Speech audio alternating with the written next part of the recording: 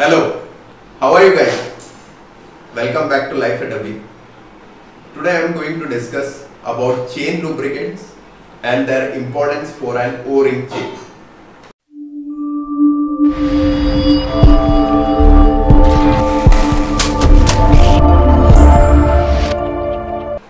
Is chain maintenance important? This is a question that often comes in your mind. It's not about lubricating your chain, it's about taking care of it. Your motorcycle bike chain transfers the power from the engine to the rear wheel. Without a motorcycle chain, your motorcycle is just a very heavy push bike. The chains that are often neglected wear out faster, thereby reducing the drive efficiency and resulting and making them into lethal weapons when they snap.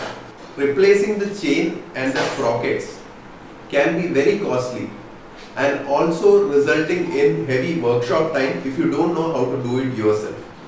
So make sure that you give your chain a heavy care because if they are neglected they will wear out faster and give you a lot of pain.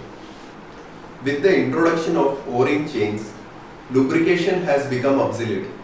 There are still people out there who think that O-ring chains themselves have a lubricant within the pins for a long time span. So why should we basically lubricate the chains? So I'll show you basically what a O-ring chain looks like and what a O-ring is and what it basically is made up of. While the rolling action of the chain is now lubricated, the O-ring themselves are very sensitive to any damage and need lubrication. Unless the surface are kept moist, the rubber will harden and crack, exposing the link pin to dirt and wear. The resulting tight spot makes the chain. O-rings are made of rubber, which has high coefficient of friction. 2 kilowatts of power can be converted to heat by seal friction on O-ring chains. So the answer is yes, even a sealed chain needs to be lubricated. I was using a 100cc motorbike before and never lubricated it in the past. Still it works fine. Why a 535cc? Now you see, the power in the engine gets converted to heat which increases the friction, wear and tear. I started to see the sound coming from the chain which become unbearable as if someone is hitting the vehicle from beneath. The service center engineers at Royal Enfield could not solve this issue. I would get the chain tightened and then for some time it gets solved but in the day or so the same sound, ah crap. I started to explore more through research and understood that it is the O-ring which are the real culprit. I took my motorbike to a local mechanic and asked him to replace the O-ring. And wait, the sound disappeared.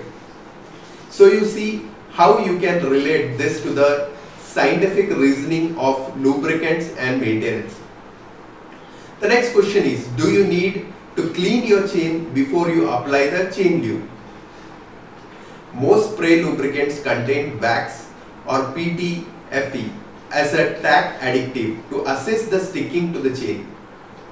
You have to apply a chain lube every 300 or 400 miles as they say. But for normal rider that's maybe every week or after a weekend of serious biking. And after that you probably need to clean your bike anyway. Spraying some sticky spray lube on your chain after hosing it down does not seem to be the hardest thing to do, does it? Applying spray lube every 300 or 400 miles means that the lubrication in between the spray intervals is insufficient. Also, the spray lube contains tack additives that let the lubricant stick to the chain. Unfortunately, it will also collect road dirt and grit, which will also stick to the chain. The movement of the chain links and their connection to the sprocket means that over time the dirt and the grit from the road transforms into a very fine grinding paste that will penetrate the o-rings and reduce the ability to seal the lubricant in the pin. Once the lubricant is gone, the chain will wear out at a much faster rate. So initially, I did not use any lubrication after I purchased my vehicle for a long time. My old vehicle never needed a lubrication, so I thought it's the same here. But after some time, the o-ring started to wear out and I started facing issues. So you need to clean your chain at least twice in a month and apply a lubricant afterwards.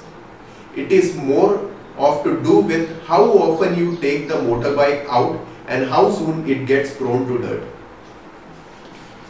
So try lubricating your chain quite often. As and when you see a dirt being accumulating on the chain, try washing it with a chain cleaner or a chain wash that you get.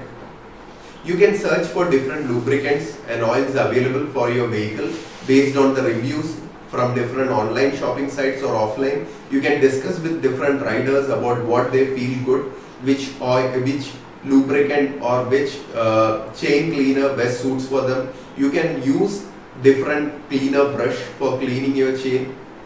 It all depends on how you use it. But the main essence is on doing this on a continual basis. The more you take care of your vehicle, the vehicle will take care of you. Thanks. Thanks for watching everyone. Do subscribe to my channel. I'll keep on giving good reviews about different